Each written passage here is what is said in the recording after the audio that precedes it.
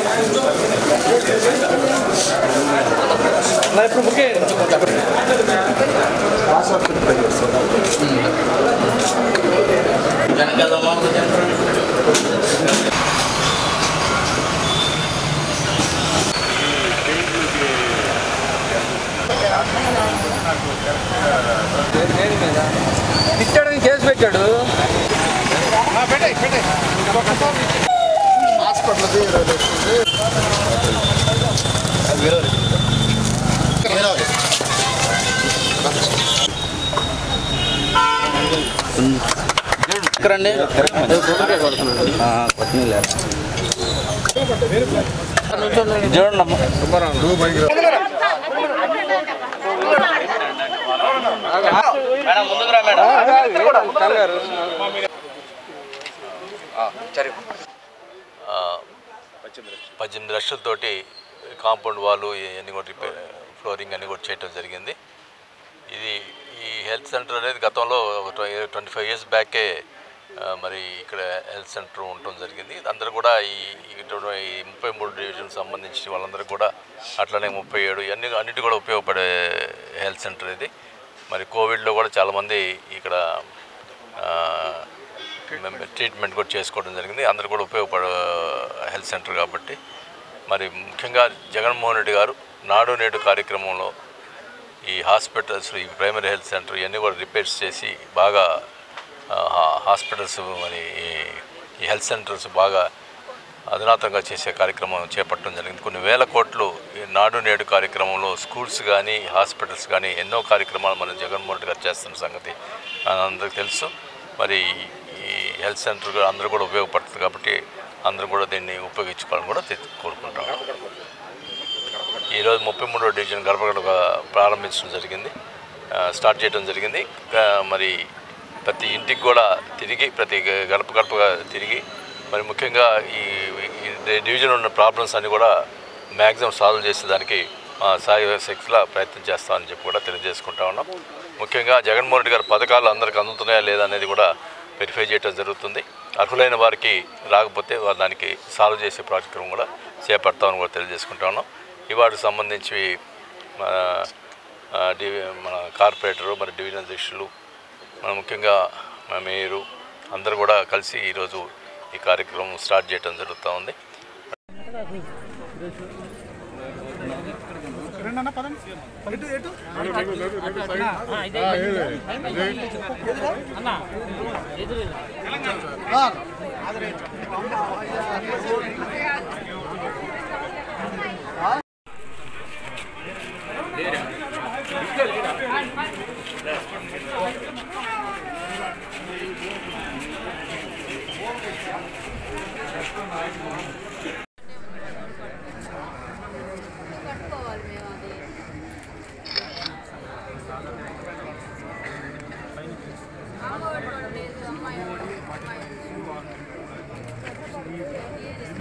స్వర్గీయ వంగవీటి రంగ ముప్పై నాలుగో వర్ధంతి కార్యక్రమం నగరంలో ఘనంగా నిర్వహించారు కాపు సంఘం ప్రకాశం జిల్లా ఆధ్వర్యంలో స్థానిక లో ఆయన విగ్రహానికి పూలమాల వేసి నివాళులు ఘటించారు ఈ కార్యక్రమంలో కాపు జేసీ చైర్మన్ దాసరి రాము ప్రకాశం జిల్లా కాపు సంఘ అధ్యక్షులు కుక్కిరాల సంజీవ్ కుమార్ చైర్మన్ మంత్రి శ్రీనివాసరావు ఘనశ్యామ్ ఇతర నాయకులు పాల్గొన్నారు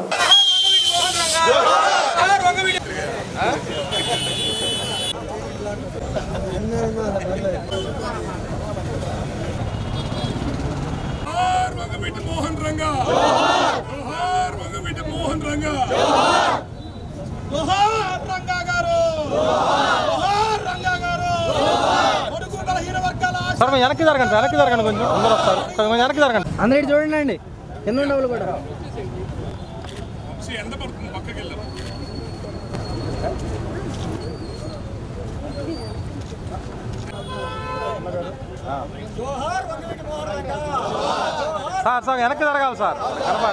కుల పెద్దలు బీసీఎస్సీ అన అనగాని వర్గాల నుంచి కూడా అందరూ కూడా సమిష్టిగా కలిసి రంగా గారి వర్ధంతి ఘనంగా నిర్వహించారు మమ్మల్ని అందరం కూడా బయట ప్రాంతాల నుంచి కూడా మమ్మల్ని అందరం కూడా ఈ కార్యక్రమానికి ఆహ్వానించారు మేము ఈ కార్యక్రమంలో పాల్గొంటాం మా అందరి సంతోషం మహానుభావుడు కష్ట కష్టజీవి ఆయన స్వయంకృషితో పైకొచ్చిన వ్యక్తి పేద ప్రజల కోసం నిలబడిన వ్యక్తి ఎట్టడుగు పేద వర్గాల నుంచి బలమైన నాయకత్వం రావడం చాలా కష్టం ఎక్కువ ఇప్పుడు దశాబ్దానికి శతాబ్దానికి నాయకుడు పుడుతుంటాడు అలా వచ్చిన వాళ్ళలో వంగవీటి మోహన్ రంగ గారు ఒకళ్ళు మహానుభావుడు నిజంగా బ్రతుకుంటే ముఖ్యమంత్రి అయ్యేవాడు ఈ రాష్ట్రానికి ముఖ్యమంత్రి అయ్యేవాడు ఆయన తర్వాత ఈ కాపు ముఖ్యమంత్రి అయిన తర్వాత బీసీఎస్సీ వర్గాలకి అధికారం అందేది కానీ మన దురదృష్టం ఆయన మహానుభావుడిని కాపాడుకోలేకపోయాం నిలబెట్టుకోలేకపోయాం దానివల్ల రాష్ట్రంలో సామాజిక న్యాయం సాధించుకోలేకపోయాం ఒకటి రెండు వర్గాలు చేతుల్లో అది డెబ్బై ఏళ్ళ నుంచి అధికారం ఉండిపోయింది తప్ప మిగతా వర్గాలకు అధికారం అందలేదు ఈ పేద వర్గాలకు రాజ్యాధికారం అందడం చాలా అవసరం ఈ అనగారిన వర్గాలు మూడు వందల కులాలని రాష్ట్రంలో మిగతా కులాలు కూడా రాజ్యాధికారం అందాలా ఇలాంటి మహానుభావులు నాయకులు వచ్చినప్పుడు కాపాడుకోవడం మన ధర్మం మనందరం కూడా అట్టడుగు పేద వర్గాలని కోరుకుంటుంది ఒకటే ఈ పేద వర్గాల నుంచి ఎప్పుడైనా నాయకత్వం బలమైన నాయకుడు వచ్చినప్పుడు ఆ నాయకుడిని కాపాడుకోండి ఆ నాయకుడి ద్వారా పేద వర్గాలకు రాజ్యాధికారం సాధించుకోవడానికి మనందరం కూడా ప్రయత్నం చేయాలా ఎప్పుడైతే బీసీ ఎస్సీ వర్గాలు అత్యధిక మెజారిటీ ఉన్న కాపులు బీసీ ఎస్సీ వర్గాలు అనగారిన వర్గాలను కలుపుకొని రాజ్యాధికారం వైపు పోరాటం చేసి పేద కులాల రాజ్యాధికారం సాధిస్తారో అదే స్వర్గీయ వంగవీడి మోహన్ రంగా గారికి నిజమైన ముందు ముందు వరకు బీసీ ప్రెసిడెంట్గా వైఎస్ రాజశేఖర రెడ్డి గారు ఉండేవాళ్ళు ఆ టైంలో నేదురుమల్లి జనార్దన్ రెడ్డి గారు ఉన్నారు తర్వాత వి హనుమంతరావు గారు పీసీ ప్రెసిడెంట్ అయినప్పటికీ కూడా కేవలం వంగవీటి మోహన రంగ హత్య తర్వాత వచ్చినటువంటి ఒక ఉప్పెన వలన కాంగ్రెస్ పార్టీ ఎనభై తొమ్మిదిలో అధికారంలోకి వచ్చినప్పటికీ కూడా వి హనుమంతరావు గారు ప్రధానమంత్రిగా అవుతారని అందరూ ఆశించినటువంటి పరిస్థితుల్లో ఆ రోజున హనుమంతరావు గారు రాలేనటువంటి పరిస్థితి ఉంది ఇవన్నీ కూడా మనం ఆలోచించుకోవాల్సిన అవసరం ఖచ్చితంగా రంగా గారు ఏ ఆశయం కోసం అయితే పనిచేశారు ఆయన చనిపోయేటప్పుడు కూడా రిక్షా కార్మికుల కోసం ఆటో కార్మికుల కోసం పేదలకు ఇళ్ల స్థలాలు ఇవ్వాలనే దానికోసం చేస్తున్న పోరాటంలో ప్రాణాలు పోగొట్టుకున్నటువంటి వ్యక్తి అటువంటి గొప్ప నాయకుడు ఒక కులానికి మాత్రమే కాదు యావత్ పేద బలహీన వర్గాలకు కూడా ఆయన గొప్ప నాయకుడు అనే విషయాన్ని మనందరూ కూడా గుర్తుపెట్టుకొని ఆయనకు నివాళులు అర్పించడం అంటే పేద బలహీన వర్గాలన్నీ కూడా అందరూ కలిసి సమ సమ సమాయత్తమయ్యి సమైక్యమైపోయి ఏర్పాటు చేయడం జరిగింది మన కాపు సంఘం ఆధ్వర్యంలో ప్రకాశం జిల్లా కాపు సంఘం ఆధ్వర్యంలో ఈ రోజు ఈ రోజున ఈ కార్యక్రమం చేసుకోవడం చాలా ఆనందంగా ఉందని తెలియజేస్తున్నాం రంగాగారి ఆశయాలను కొనసాగించాలని రంగా గారు చనిపోకుండా ఉంటే ముఖ్యమంత్రి అవుతారని ఈ రోజైనా ఈ రోజైనా ఇంకొక వ్యక్తికి మనం నివా ఘనంగా అందరం కలిసి కట్టుగా ఒక ముందుకు అడుగు వేయాలని అందరూ ముందు అందరూ ముందుకు సాగాలి అందరూ రంగాగారి ఆశయాన్ని ఆశయాలను కొనసాగించాలి అందరూ కులమంతా కలిసికట్టుగా ముందుకు సాగాలని కోరుకుంటున్నాం అలా అలానే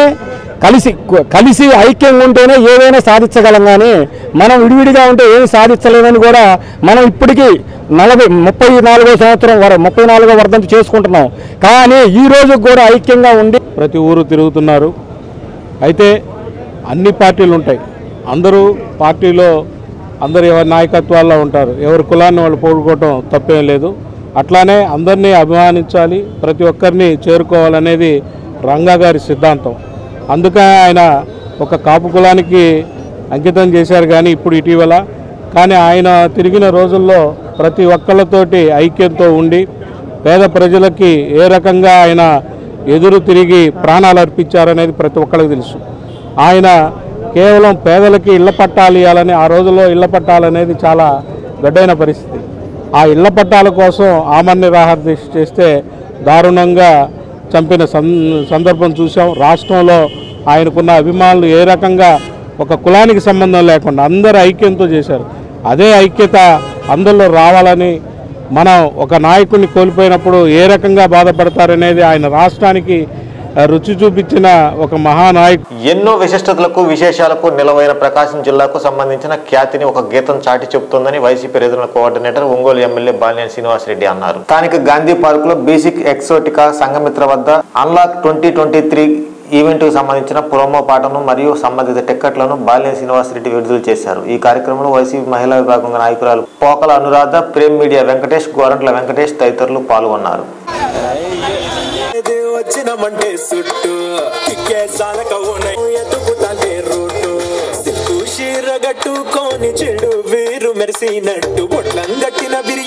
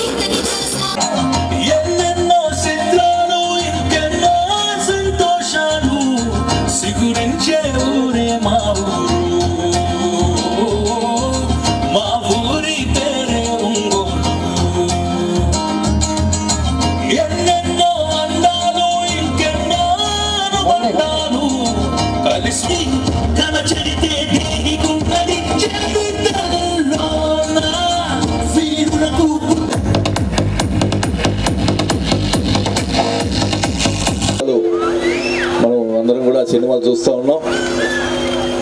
ఇక్కడ ఉన్నటువంటి ఇక్కడ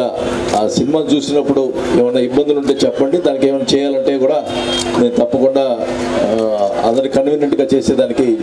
ఏం చేయాలో మీ అందరూ చెప్తే తప్పదు Ongole's first massive new year celebrations ఒంగోల్లో జరగబోతున్నాయి డిసెంబర్ థర్టీ ఫస్ట్ డి సిక్స్లో దాంట్లో ప్రమోషన్స్లో భాగంగా ఈరోజు గాంధీ పార్క్లో ప్రీమియం ఒక ఈవెంట్ ప్లాన్ చేసి ఆ ఈవెంట్లో వాసన మన ఒంగోలు బాస్ వాసనతో టికెట్ లాంచ్ చేయడం జరిగింది దాంతోపాటుగా ఒంగోలు యాంతం ఒంగోలు ఇప్పుడు మనకి చూస్తే గుంటూరుకి సాంగ్ ఉంది నెల్లూరుకి సాంగ్ ఉంది కానీ ఒంగోలుకి సాంగ్ లేదు ఇక్కడ నుంచి ఒంగోలుకి కూడా ఒక సాంగ్ ఉంది దాని పేరు ఒంగోలు యాంతం మీరు యూట్యూబ్లో కానీ ఫేస్బుక్లో కానీ ఇన్స్టాగ్రామ్లో అన్నిట్లో సర్చ్ చేసి చూసుకోవచ్చు ఆ సాంగ్ని ఈరోజు వాసన లాంచ్ చేశారు గాంధీ పార్క్లో సో అందరూ తప్పకుండా సాంగ్ చూసి షేర్ చేసి ఒంగోలుకి ఒక సాంగ్ ఉందని ఏపీ మొత్తం తెలిసేలా చేయాలని కోరుకుంటున్నాను అలాగే unlock twenty twenty three December thirty first night new year bash ఈవెంట్కి కూడా అందరూ తప్పకుండా వచ్చి ఎంటర్టైన్ అయ్యి ఒంగోలులో జరిగే ఫస్ట్ uh, వంగవీటి మోహన రంగ ముప్పై నాలుగో వర్ధంతి సందర్భంగా జనసేన పార్టీ ఆధ్వర్యంలో రంగా విగ్రహానికి నివాళులు అర్పించారు ఈ కార్యక్రమంలో ప్రకాశం జిల్లా జనసేన పార్టీ ఉపాధ్యక్షులు చిట్టెం ప్రసాద్ ప్రకాశం జిల్లా చిరంజీవి యువత అధ్యక్షులు అడుసుమల్లి వెంకట్రావు ప్రకాశం జిల్లా జనసేన పార్టీ కార్యదర్శి కళ్యాణ్ ముత్యాల నగర జనసేన పార్టీ ఉపాధ్యక్షులు పిల్లి రాజేష్ నగర జనసేన పార్టీ ప్రధాన కార్యదర్శి పల్లా ప్రమీల ఏదైతే రంగా గారు పొడుగు వర్గ వర్గాల కోసం ఆయన చేసినటువంటి కృషి ఈరోజు దాదాపుగా ఆయన చనిపోయి ముప్పై నాలుగు సంవత్సరాలు కూడా కోట్లాది ప్రజల్లో చిరస్థాయిగా నిలబడటం నిజంగా ఆయన చేసినటువంటి గొప్ప త్యాగాలు ఈరోజు ఈరోజు ఇప్పుడు కూడా నడుస్తున్నటువంటి యువత అందరూ కూడా మర్చిపోకుండా గుండెల్లో పెట్టుకొని ఈరోజు ఆయనకు నిజంగా గనవాలనిపించడం నిజంగా చాలా గొప్ప విషయం అలాగే ఏదైతే రంగా గారు త్యాగాలతోటి ఆయన సాధించినటువంటి కొన్ని ఏవైతే ఉన్నాయో అవన్నీ కూడా ఈరోజు పవన్ కళ్యాణ్ రూపంలో ఈరోజు రాష్ట్ర ప్రజలకు నిజంగా ఈరోజు రైతులు చనిపోతే ఆయన చేస్తున్నటువంటి ఆర్థిక సహాయ రూపంలో కానీ ఏదైనా కూడా రంగాక రాశయాల్ని భవిష్యత్తులో ముందుకు తీసుకెళ్లేటువంటి ఏకైక నాయకుడు మా అధినేత పవన్ కళ్యాణ్ గారు మాత్రమే ప్రజలందరూ కూడా గమనించాలి ఏదైతే ప్రజల కోసం ఈరోజు ప్రయాణిస్తున్నటువంటి పవన్ కళ్యాణ్ గారికి అండగా ఉండాల్సినటువంటి అవసరం ఉంది భవిష్యత్తులో రంగా గారి ఆశయాలని ఏమాత్రం తూచా తప్ప మన ఒంగోలులోని రంగగారి విగ్రహానికి జనసేన పార్టీ ఆధ్వర్యంలో ఈరోజు ఘనంగా నివాళులు అర్పించడం జరిగింది ఏ రోజైతే నిజంగా బలగు బలహీన వర్గాలు అధికారం పొందుతాయో ఆ రోజే రంగా మనం ఇచ్చే ఘనమైన నివాళులని అదేవిధంగా ఈరోజు అధికార ప్రతిపక్ష పార్టీలు రెండు కూడా రంగా గారి పేరుని కేవలం ఒక ఓట్ బ్యాంక్గా వాడుకొని వదిలేస్తున్నాయి తప్పిస్తే ఎటువంటి చిత్తశుద్ధి కూడా వాళ్ళ వాళ్ళకి ఎటువంటి చిత్తశుద్ధి కూడా రంగా గారి మీద లేదు కేవలం రంగా గారి రాజకీయ అవసరాలకు వాడుకొని వదిలేసే నాయకులు ఆ అధికార ప్రతిపక్ష పార్టీ నాయకులు కేవలం రంజా గారి ఆశయాలను కొనసాగించేది జనసేన పార్టీ మాత్రమే అని అదేవిధంగా ఎప్పుడు రంగా గారి ఆశయాలను కాపాడడానికి మేము నిరంతరం కష్టపడుతూనే ఉంటామని నాలుగో వర్ధంతి సందర్భంగా ఈరోజు జనసేన పార్టీ తరఫున నివాళులు అర్పించడం జరిగింది రంగా గారి మాటలు ఏవైతే ఉన్నాయో మనం సంపాదించుకుంటున్నాం మన సొమ్ము మనం తింటున్నాం ఎవరి కింద బానిసలుగా మనం బ్రతకక్కర్లేదు ఎవరు మనకి ముష్టి పడేయక్కర్లేదు మన డబ్బుతో మనకి ఉచితాలు ఇచ్చి మనకి ముష్టి వేయాల్సిన అవసరం లేదు అలా కాకుండా మన జీవితం మనం అభివృద్ధి పదంలో నడిపించాలి అనే ఒక మంచి ఉద్దేశంతో బడుగు బలహీన వర్గాలకి అణగారిన వర్గాలకి ఆయన అండగా నిలబడి తోడ్పాటును అందించారు అలా అలాగే ఆయన అలా ఆయన ఆశయాలనే పుణికిపుచ్చుకున్న ఈరోజు పవన్ కళ్యాణ్ గారు మళ్ళీ అదే ఆశయంతో ముందుకొచ్చారు ఆయనకి మన మద్దతును తెలియజేసి రెండు వేల ఇరవై నాలుగులో ఆయన సీఎంగా చూసుకోవాలన్న మన ఎమ్మెల్యే అయినా సరే ఎప్పుడు బడుగు బలహీన వర్గాల మధ్యలో ఉంటూ వారి ఉన్నతి కోసం కృషి చేస్తూ చనిపోయిన వ్యక్తిని మనం ఈరోజు స్మరించుకుంటాం తెలుసు ఆ రోజున మరి అయ్యప్ప స్వామి వేషంలో ముసుగులో వచ్చి ముష్కర్లు ఆయన్ని చంపటం అలాగే ఆ విషయంలో చాలామంది ఇబ్బంది పడటం కూడా జరిగింది ఒక ప్రజల్లో ఆనాడంటే ప్రాక్టికల్గా మేము చూసాం కాబట్టి ప్రజల్లో ఊ ఊవెత్తున అందరూ కలిసి ఉండాలని భావం వచ్చింది మళ్ళా స్లోగా తగ్గిపోయింది కానీ ఆయన యొక్క ఆశయాలందరూ మనం ఖచ్చితంగా ముందుకు రావాలంటే బడుగు బలహీన వర్గాలు కాపులు అందరూ కలిసి ఉండాలి అలాగే ఈనాడు ఇంకో వ్యక్తి శ్రీ కైకాల సత్యనారాయణ గారు వారు కూడా నవరత్న సహభయుడు మరి యొక్క ఈ యొక్క కాపు కులంలో పుట్టి ఈ మధ్య కాలంలో దాదాపు చక్కటి జీవితాన్ని అనుభవించి డెబ్బై ఎనిమిది సంవత్సరాలు బతికినటువంటి వారిని కూడా మనం అందరం గుర్తుంచుకోవాలి ఎందుకంటే ఏ క్యారెక్టర్ రావాల్సినా సరే మన సత్యనారాయణ గారి పేరు గుర్తు రావాల్సిందే అన్ని రకాలుగా చేసినటువంటి కాపు మహనీయుడు స్వర్గీయ కైకాల సత్యనారాయణ గారి గుర్తుంచుకుంటూ మరి ఈనాడు వారందరికీ వారి యొక్క ఆశయాలు మనందరం తీసుకెళ్లాలంటే అందరం కలిసికట్టుగా ఉండాలని అలాగే కిందట బడుగు వర్గాలకి గత రెండు రోజుల నుంచి నిర్వహిస్తున్న ఇరవై ఐదవ జాతీయ స్థాయి తైక్వాండో పోటీలు ఘనంగా ముగిశాయి ఈ పోటీలకు తొమ్మిది రాష్ట్రాల నుంచి క్రీడాకారులు పాల్గొన్నట్టు టోర్నమెంట్ ఆర్గనైజర్ ఉన్న మారుతి ప్రసాద్ తెలిపారు ప్రథమ బహుమతి కర్ణాటకకు రాగా ద్వితీయ తృతీయ బహుమతులు ఆంధ్ర నాగాలాండ్ రాష్ట్రాలు కైవసం చేసుకున్నాయి విజేతలకు ముఖ్య అతిథిగా పాల్గొన్న నాగాలాండ్ ఏఎస్పీ ఇజ్రాయెల్ అందజేశారు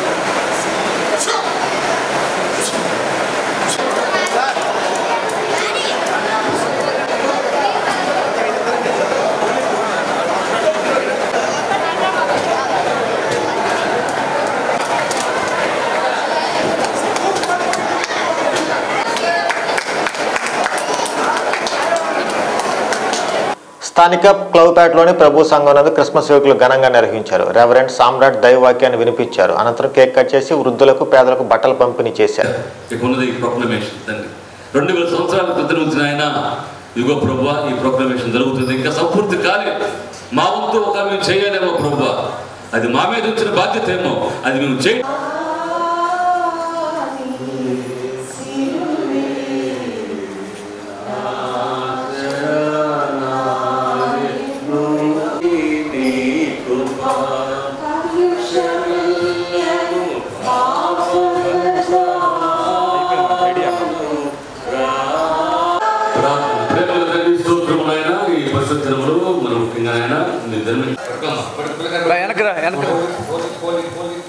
సెంటర్ సెంటర్ పండు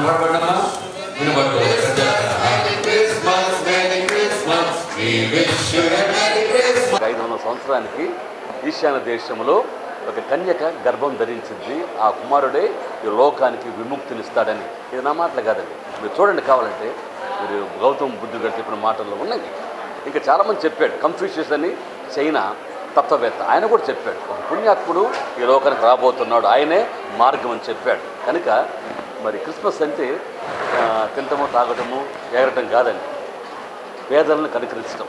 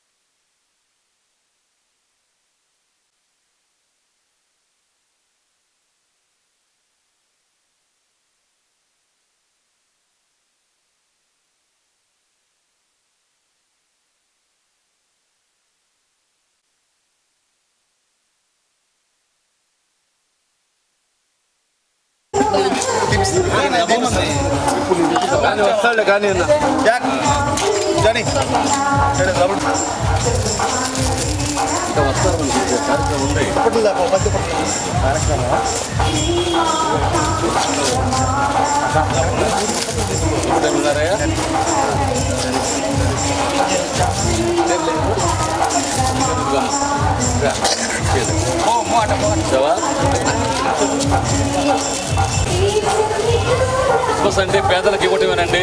యేసుప్రభు చూపించిన మార్గం ఇది పేదలకు కనిపిస్తే